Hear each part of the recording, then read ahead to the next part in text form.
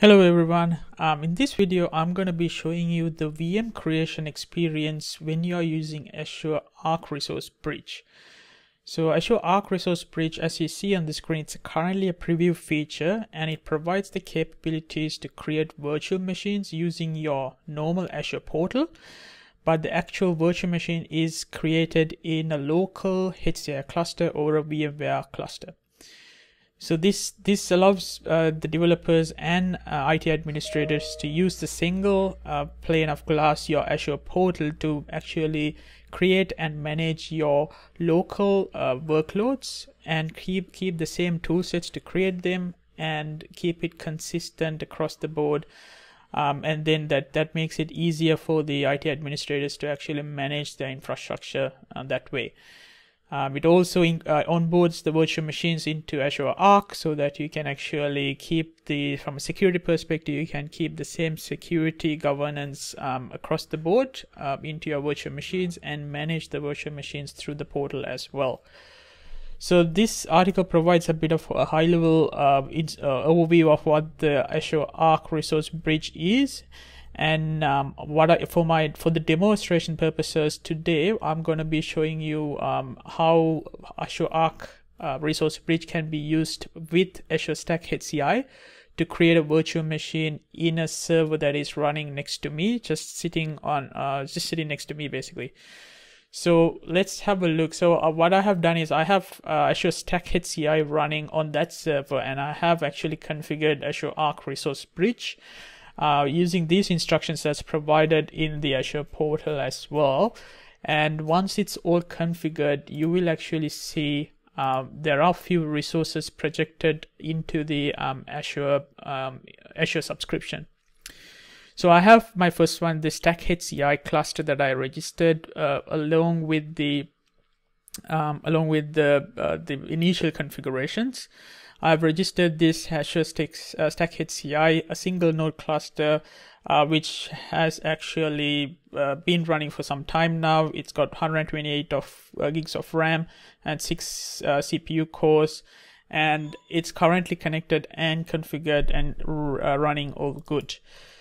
Along with that, I enabled the Azure Resource uh, Azure Arc Resource Bridge, and that actually created the Azure Arc Resource Bridge relationship uh, status, uh, creating this Azure Arc Resource Bridge resource. And along with that, I have created a custom location, uh, which represents my location, uh, my home as a location. And uh, I have created a image, a local image that I have. I have created that as a gallery image in the cloud and also I have represented my local network up into the cloud as well as a HCI virtual network. So all of these are configured as per the instructions that's provided um, in in the uh, Microsoft documentation. Um, so that's being all configured. Now, how I want to demonstrate you what the VM creation experience looks like when you actually try to create a virtual machine. So let's go ahead and uh, go towards the Azure Virtual Machine Creation uh, blade. And then when you drop down your create um, button, you basically have an option to create an Azure Arc virtual machine rather than a native virtual machine. So when you actually have configured your Azure um, HCI with Azure Arc Resource Bridge, you will get an uh, get a, uh, a VM creation process like this. Essentially, it asks you. It is very much similar to a normal VM creation process that you do in your uh, portal and you get asked to uh, you know locate the virtual machine in a, a, resource group. I will call it as my um, hci vm1 uh, as the resource group name and i will give my virtual machine name as the same. Um, as that and then you, for the location you can actually select a custom location here rather than a normal Azure region and I'm selecting as my 3B HCI which is my loc which represents my local home as a location. It's uh, currently it's uh, this service only available in East US uh, East US and um, one other region I don't recall which one it is. Uh, so it's only to store the metadata actually so it's all the activities that is happening uh, right right now in my home, right? So which is in Australia, Perth.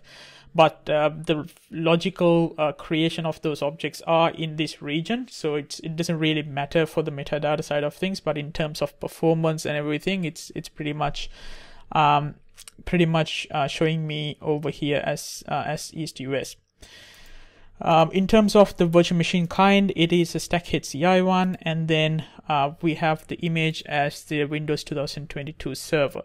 And in terms of processor count, I'm not gonna be this generous, so I'm gonna be selecting two cores and a four gigs of RAM.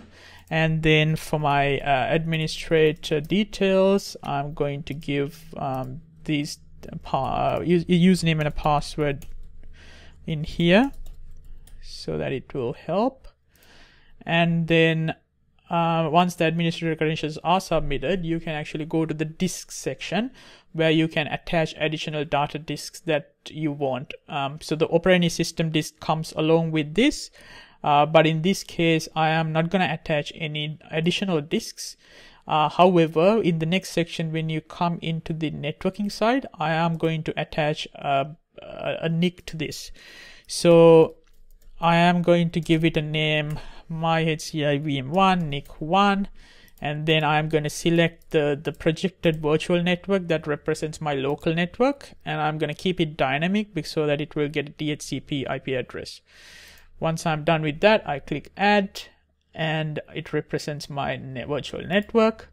And then uh, along with tags, I will put a description tag, um, test virtual machine.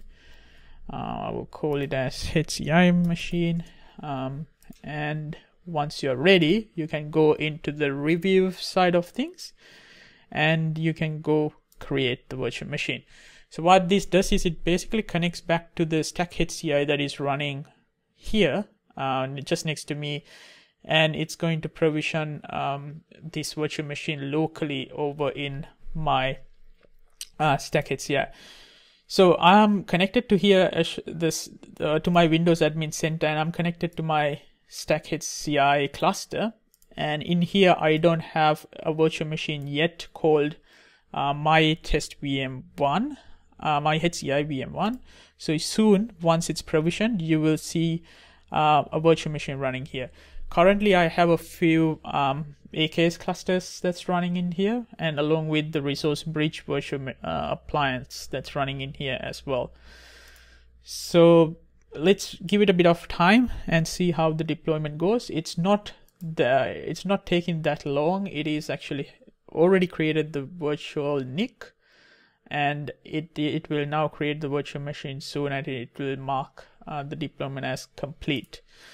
So let's wait for this virtual machines to machine to come up and um, it is now doing the virtual machine. The deployment is created and it is connecting back to the HCI. So the beauty of the HCI is a hybrid connected uh, operating system, which means it talks to Azure and listens um, to Azure instructions for management purposes, which is a really cool feature so that you can sit where you are in the world and you can manage your infrastructure. Doesn't matter where you're accessing it from as far as you have access control to the to the portal with appropriate permissions you can actually control your infrastructure that is distributed across the the globe so for me the uh, the advantage in here is like i don't have um, um, the closest data center for for perth is actually sydney or melbourne uh, which is like 50 milliseconds away uh, uh, from here from Perth. Um, so 50 milliseconds is a considerable amount of latency, and if you have latency sensitive applications that might not have uh, a really good experience in in application consumption side of things, so you can actually have Azure Stack HCI for the latency sensitive applications in your own data center hosted and managed in the same way that you normally do um, along with the other virtual machines in the cloud. So as you can see, it's completed now and uh, you can see there's a virtual machines uh, created and it's still coming up um, um, as, uh, as it starts. So once it starts properly, you will actually see um, the virtual machine um, given an IP. Once it gathers the IP, it will show up in under the network under here. Uh, because it's still um, booting up, it doesn't have the IP address right now in here. So um, let's have a look and see on the uh, virtual machine. If it has got the IP address it will actually list it in here and it has locally got an IP address. For it to be reflected in the cloud it will take a bit of time. But what I wanted to show you is let's remote into this um, I, uh, server as well. So I have a test VM in here with that correct IP address let's jump into that uh, virtual machine which is the one that we just got created. So that's this virtual machine. And if you actually uh, check for the latency side of things for this uh, for this virtual machine, let's check the latency. You will see that it's it's pretty low. Um, so let's quickly uh, jump into the portal. It's not in there, but let's. This is the IP address that uh, that it was given. Um, I want to see this IP address in the portal uh, let's have a look if it's got there yet or not it's not so it, it will get the IP address soon enough uh, but let's quickly check the latency from where I am to this virtual machine um, so it's 192.168.7.50 and it is 1 milliseconds or 1.5 milliseconds. And it's just one router away from me and that is why it's it's having that latency. So it's essentially like if you host a virtual machine for me in the Sydney data center it will be 50 milliseconds. And uh, it's and you can achieve like low low latency applications created uh, in the same way that you do um, using the portal um, you only saw uh, we're creating the virtual machines in the portal, but you can actually use CLI, PowerShell, and also ARM templates. I'll share a blog post uh, where you can actually get all those instructions. And I actually used uh, Terraform um, AZ API uh, feature as well to create virtual machines uh, using this um, Azure, Azure Arc Resource Bridge technology. Um, so that's how you actually create uh, your virtual machines and same way you can actually delete your virtual machines as well. Um, you can actually destroy your whole resource group and it will actually destroy your um, your uh, your stack HCI virtual machine and you can actually modify uh, your resources in here as well and that those those changes will reflect. So if you go into the sizing side you can actually update your core resources assigned to this virtual machine which will you will be able to update them locally. Uh, adding adding data disks can be done networking wise if you want to add additional networks or change the networks that it assigns to and uh, it, it all can be done. And the recommended approach of modifying um, virtual machines that is deployed via the Azure Arc Resource Bridge is to use the Azure Arc Resource Bridge. So if you do uh, changes locally, then it won't be reflected and there will be conflicts um, um, uh, by doing that. So it's not recommended to do those things. So that's uh, that is that and the virtual machine is you saw it's available locally and this is the um, uh, this is the virtual machine that we are looking at and as you can see it is actually running two um, two VM uh, sorry two cores and four gigs. And um, yeah the network is there and it's pretty much uh, it's a virtual machine and I can connect to it uh, using my local RDP over here. Um, and I can prove it to you that this is the virtual machine um, because it's got the IP address